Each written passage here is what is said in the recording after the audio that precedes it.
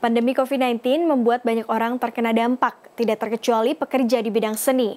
Namun hal ini tidak menghalangi sejumlah komunitas seni untuk tetap berkontribusi membantu sesama.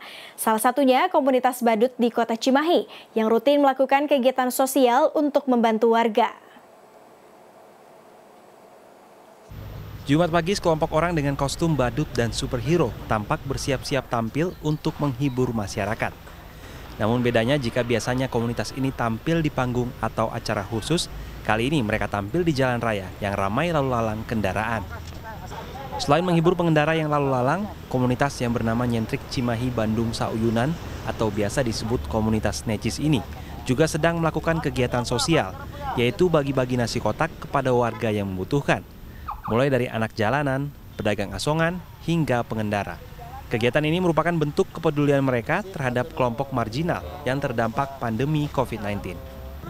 Meski turut terdampak, tidak menyurutkan niat mereka untuk berkontribusi di tengah pandemi COVID-19. Salah satunya dengan melakukan kegiatan sosial. Di balik kita sosial itu banyak yang support.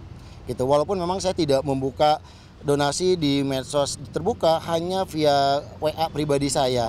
Mereka dengan spontan, mereka dengan ini, yuk saya ikut, saya ikut, saya ikut. Akhirnya terbentuklah Jumat Berkah. Dan ini continue tiap hari Jumat kita seperti ini. Cuman seninya berbeda-beda. Mungkin eh, sekarang kita pakai kostum badut, minggu depan kita pakai kemeja, atau minggu depan kita kita berubah supaya berwarna.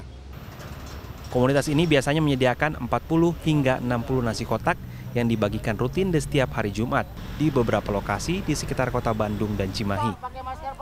Dana untuk kegiatan ini mereka dapatkan dari sejumlah donatur melalui kampanye di media sosial.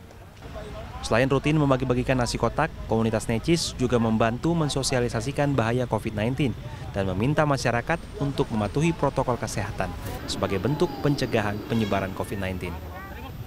Warga yang melihat aksi komunitas ini mengaku mengapresiasi apa yang mereka lakukan. Ya bagus sekali gitu ya untuk uh, membantu teman-teman. Ya mudah-mudahan berkah juga. Sekarang kan lagi wabah corona, kita kalau bukan kita yang jaga ya siapa lagi gitu kalau bukan diri kita. Ya alhamdulillah ya ada acara kayak gini gitu. Ya udah gitu. Membantu banget ya. Uh, membantu banget. Jadi, jadi tahu juga harus iya harus pakai masker. Selain melakukan kegiatan bagi-bagi nasi kotak, komunitas ini juga rutin melakukan kegiatan sosial lain, seperti menghibur anak-anak di panti asuhan dan membuat karya untuk diunggah di media sosial. Frankie Wijaya, Rusman Rusmana, Cimahi, Jawa Barat.